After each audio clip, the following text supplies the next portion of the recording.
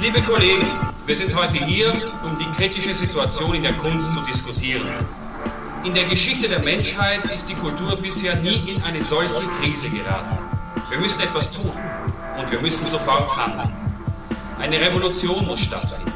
Die Kunst darf nicht aussterben. Es wird nicht lange dauern, bis wir die Macht an uns gerissen haben. Und sobald wir die Schlüsselstellungen besetzt haben werden, werden wir die neuen Kulturträger sein. Wir werden Kunst und Literatur am Fließband produzieren und wir werden dafür sorgen, dass Regierungs- und Wirtschaftsgeld zu uns fließt. Unsere Produkte müssen wir wie Ware verbreiten, mit allem, was dazugehört. Jegliche Konkurrenz werden wir gezielt ausschalten. Urin, Kot, Blut und Samen werden unsere Palette sein. Wir werden Gewalt verherrlichen und praktizieren. Am Anfang werden wir die Darsteller sein. Später können wir dann die Sache noch weiter treiben. Natürlich werden manche uns kritisieren. Die Revisionisten werden am lautesten schreien und das wird uns sehr nützlich sein. Alle unsere Gegner werden wir einfach braun bemalen. Österreich ist immer ein Zentrum für Talent und Sophismus gewesen und die Deutschen fressen alles, was von uns kommt.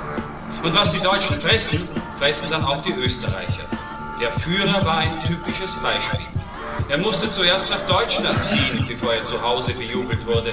Seine Erfolgsdauer war begrenzt, weil er das Ausland nicht überzeugt hat. Aber für uns gibt es keine Grenzen.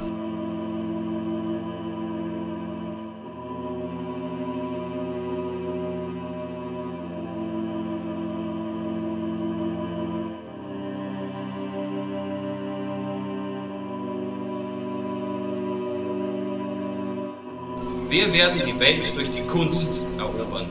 Die Barbarei lässt sich gut verkaufen. Am Anfang werden wir Tiere als Ersatzopfer verwenden und dann verlangen wir menschliche Leichen. Die Kunst muss frei sein. Mord ist eine kreative Tat.